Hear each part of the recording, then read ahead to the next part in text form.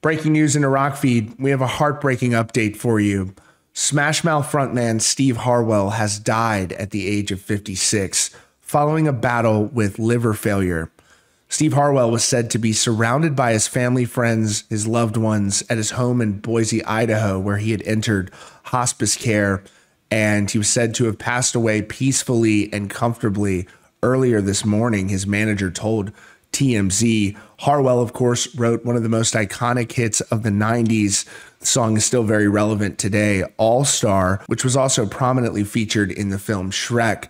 Now, Smash Mouth had a number of other hits, including Walking on the Sun. They had some very big covers that they did. Can't Get Enough of You, Baby. I'm a Believer. Why Can't We Be Friends? This was a band that was very successful, co founded by Steve Harwell back in 1994.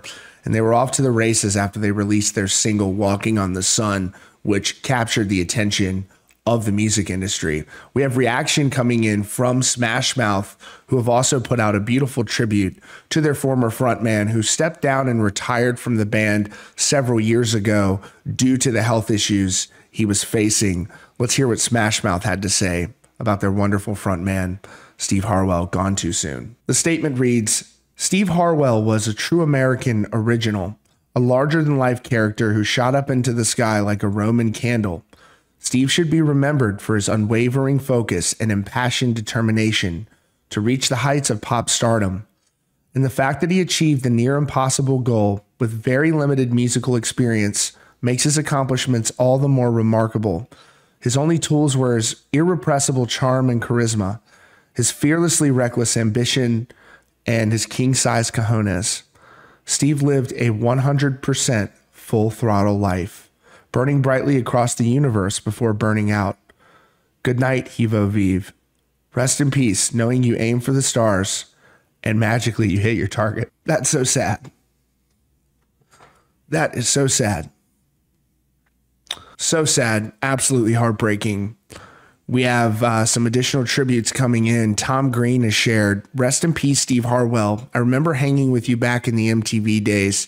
You were always super cool and an amazing talent. My condolences to your family and friends. So heartbreaking, just 56 years old. There were reports that he struggled with alcoholism. He had other uh, health issues as well. And uh, this song, All Star, that they wrote, I grew up really loving this band. And that's such a timeless song, one of the catchiest songs I would say ever written. And it's just a brilliant song that uh, every time you listen to it, it really just uplifts your spirits and it makes you happy and it makes you smile. And to write a song that has that kind of impact on hundreds and hundreds of millions of people around the world, uh, that is not a small feat. And that is an all star in the music industry from you know what Steve was able to accomplish. It's just a heartbreaking situation. It's a tremendous loss for the music community, and uh, his memory will live on through his music uh, forever. That song All Star is going to be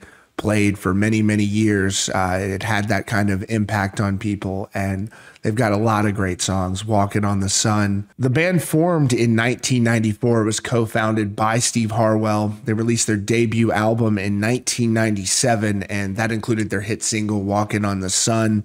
Uh, their following album, just a breakout massive record, Astro Lounge. That's the record that included All Star. Uh, and of course, uh, they released other albums self titled in 2001, Get the Picture in 2003, um, and more.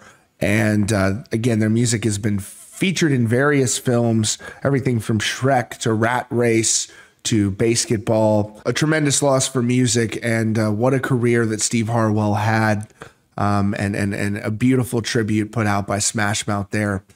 Uh, again, sending our thoughts and prayers out to Steve Harwell's family, friends, his loved ones, his bandmates during this very difficult time.